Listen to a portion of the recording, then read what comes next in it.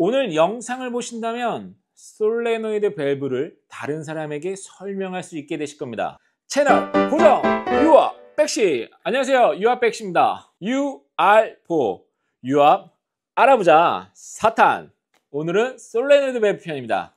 Let's go! 혹시 기어 펌프 영상 보셨나요? 안 보셨다면 위쪽 링크를 클릭해 주세요. 펌프가 오일을 어떻게 뿜어내는지 알아야 밸브가 그 오일을 어떻게 제어하는지 이해가 쉬워지니까요. 이번 영상은 구독자님의 아이디 뒷번호가 6538님의 요청으로 엄청 쉽게 아주 쉽게 개념부터 풀어서 설명해 드리겠습니다. 밸브란 사전적 의미로 갈로에 중간에 설치해서 유체의 양이나 압력을 제어하는 장치라고 설명되어 있습니다. 유압에서는 세 가지 제어를 하게 됩니다. 첫 번째, 압력 제어. 두 번째, 유량 제어. 세 번째, 방향 제어입니다. 첫 번째, 압력 제어. 압력 제어의 대표 밸브는 릴리프 밸브죠. 시스템 전체의 기준 압력을 잡고 넘치는 건 탱크로 돌려주는 릴리프 밸브. 구독자분들은 이제 눈 감고도 설명이 가능하시죠? 음? 아직도 안 보셨다고요? 그럼 구독 누른 후에 솔레노이드 편이 끝나고 확인해 주세요. 두 번째, 유량 제어. 수도꼭지를 생각하시면 편합니다. 조금 트면 졸졸졸, 많이 트면 콸콸콸. 유량 밸브도 똑같이 유체의 양을 조절하게 됩니다. 세 번째, 방향 제어. 방향 제어 밸브는 기름의 길을 바꾸는 교통신호등이라고 생각하시면 될 것 같습니다. 오일의 흐름이 어디로 흐를지 딱 정해주는 밸브입니다. 실린더가 앞으로 갈지 뒤로 갈지 유압 모터가 오른쪽으로 돌지 왼쪽으로 돌지를 정해주는 게 솔레노이드 밸브의 역할입니다. 솔레노이드 밸브를 번역하면 원통의 코일이라고 합니다. 코일? 그럼 뭔가 전기랑 관련이 있겠죠. 이 코일에 전기를 흐르게 해요. 방향 제어하는 밸브를 솔레노이드 밸브라고 합니다. 제가 100번 떠드는 것보다 한 번 제대로 보여주는 것이 낫다 싶어서 제 사비로 밸브를 절단했습니다. 이 와이어 커팅은 대신테크 박주환 대표님이 해주셨는데 정말 노력을 많이 해주셨어요. 제가 그 구독자님들을 위해서 설명을 정말 잘해주고 싶다 이렇게 이야기하시니까 정말 깔끔하게 내주셨어요. 혹시 와이어 커팅이 필요하시다고 하시면 한번 전화 한번 해보십시오. 정말 제대로 잘해 주실 겁니다. 솔레노이드 분해하기 전 외형입니다. 현장에 이런 모습으로 있겠죠? 절단한 솔레노이드 내부도를 보고 이미지 만들기 코일은 전기가 들어가면 자석이 되어서 플런저가 자력의 힘으로 스풀을 밀고 armature는 플런저 움직일 수 있는 길이라 생각하고 스프링에 의해 스풀은 중립으로 돌아오게 되며 이 스풀이 유체의 흐름을 바꾸는 핵심 역할을 합니다. 블럭은 유체의 통로고 규격화로 제작됩니다. 단면도로 다시 복습! 솔레노이드 밸브 구조와 명칭, 역할에 대해서 설명을 해드렸으니까 이제 작동에 대한 방식에 대해서 알려드릴게요. 자, 코일에 신호가 들어가면 자력을 변하겠죠?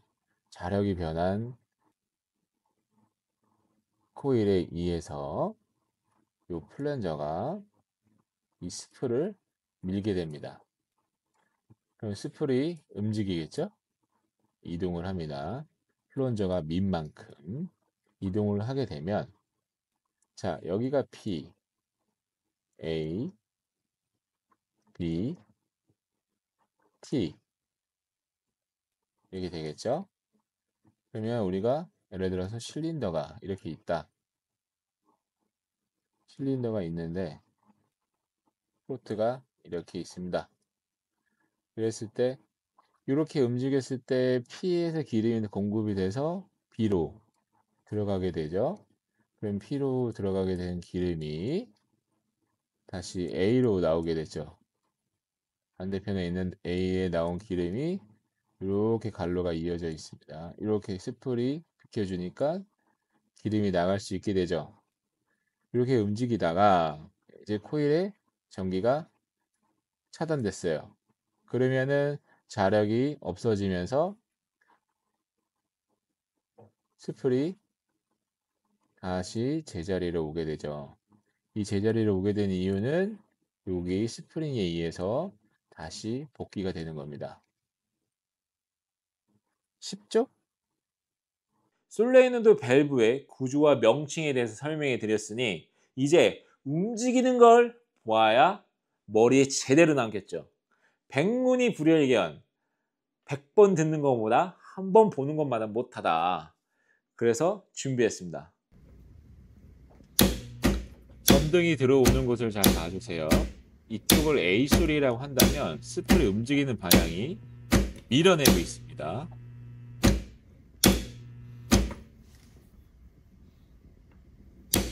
자 이번에 빗소를 쳐볼게요. 빗소를 쳤을 때 스플 방향이 움직이는 방향 밀어내고 있죠.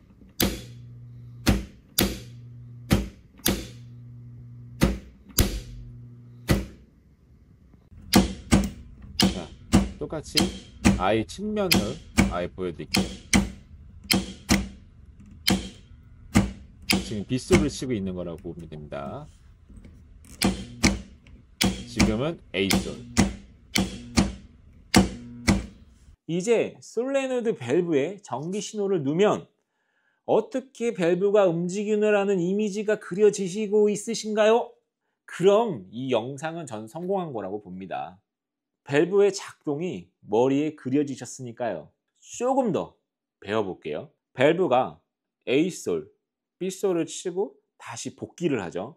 뭐 때문에? 스프링에 의해서 복귀를 하죠. 제자리로 돌아옵니다. 이 제자리로 돌아왔을 때 기본 네 가지의 심볼이 있습니다. 그 심볼에 대해서 한 번 더 설명을 해드릴게요. 물론 여러 가지 심볼이 있습니다. 그러면 머리 아파요. 일단 네 가지만 제대로 네 가지만 확인하는 시간을 가져보겠습니다. 명판 보는 법입니다. 빨간색 동그라미 보이시죠? 명판에 있는 저 심볼을 확인하시면 됩니다. 네 가지 주요 심볼은 all block, P block, all open, center bypass 요 네 가지입니다. all block 전부 막혀 있어요. 그러니까 체크 밸브가 없어도 어느 정도 실린더가 흘러내리거나 하질 않습니다. 버틸 수 있죠. P block P 라인 빼고는 다 개방되어 있어요. 요걸 쓸 때는 파일럿 체크 밸브를 쓴다면 꼭 적용하셔야 됩니다. all open 전부 연결되어 있죠. 그러니까 기름이 너무 자유롭게 흘러요. 그러면 실린더가 흘러내릴 수도 있어요. 참고해 주세요. center bypass 펌프로 바로 가동했을 때 P랑 T랑 연결이 되어 있기 때문에 bypass가 가능한 sol밸브입니다. 요 네 가지 타입에 대해서 이해하셨나요? 제일 많이 쓰고 정말 특별한 기능이 없다면 대부분 이걸로 해결이 된다고 보시면 됩니다. 마지막으로 다 똑같이 생겼어요. 근데 왜 가격 차이가 나는 걸까요? 현재 국내 시중에서 판매되고 있는 솔레노드 밸브는 제조국이 국산, 중국산, 대만산 이 세 가지 밸브가 제일 많이 판매되고 있습니다. 근데 가격 차이는 많게는 3만원 차이가 나는데요.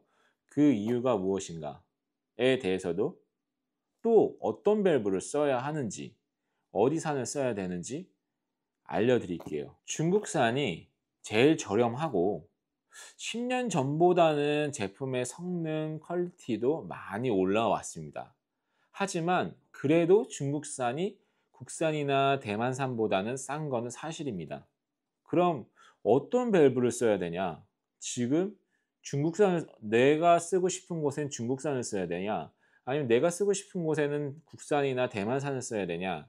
라고 궁금해 하실 거 아니에요. 하시겠죠? 국산 제품과 대만제는 가격이 비슷비슷합니다. 성능은요? 음, 성능도 뭐 딱히 어디가 더 좋다, 나쁘다라고 말할 수는 없습니다. 다만 그냥 설계자의 경험으로 application에 따라 국산이 더 잘 맞는 application이 있고 대만 대만산이 더 잘 맞는 application이 있습니다. 이것은 다 설계자의 경험에 따라 적용하게 됩니다. 유압백 시의 주관적인 실사용에 대해서 예를 들어 설명해 드릴게요. 음, 그 유압 도끼 이런 곳에는 중국제를 사용하게 됩니다. 가격도 저렴하고 그리고 제품의 quality나 뭐 이렇게 생산적인 게 아니잖아요. 그냥 자르기만 하면 되는 이런 것들의 application에는 중국산을 쓰는 게 유리하죠. 압력을 가해서 뭔가 제품을 생산하고 뭔가 quality가 중요한 이런 부분에는 국산이나 대만제를 더 선호하는 편입니다. 이 2, 3만 원의 가격 차이는 결국 가공을 많게는 5번, 6번까지도 손을 댔다는 거거든요. 그것 때문에 제품의 quality가 다르게 나옵니다. 생산한 것에 중국제를 넣었으면 원하는 quality가 안 나올 수도 있어요. 이건 제 경험이기 때문에 어, 뭐 맞다 틀리다를 떠나서 저는 그렇게 사, 용하고 적용하고 있습니다. 중국제는 무조건 싸니까 안 좋다. 이런 말이 절대 아닙니다. 거기에 맞는 어플리케이션에 적용해야 고객도 저도 서로 만족할 수 있는 결과물을 얻을 수 있게 되는 겁니다. 오늘은 솔레노이 편에 대해서 설명해 드렸습니다. 어떻게 솔레노이 밸브에 대해서 개념을 확실하게 잡으셨나요? 구독, 알람 설정 해주실 거죠? 그리고 유알보의 응원의 댓글 너무너무 환영합니다. 혹시 유압에 대해서 알고 싶은 부분이 있으시다면 댓글로 남겨주세요. 제가 다음 콘텐츠를 할 때 참고해서 준비해 보겠습니다. 다음 편은 매뉴얼 밸브에 대해서 개념이나 기능, 옵션에 대해서 설명해 드릴게요. 특장 차나 유압 도끼를 가지고 또는 사용하고 있다면 5탄 매뉴얼 밸브 영상이 도움이 되실 겁니다. 시청해 주셔서 감사합니다. 유압 백시!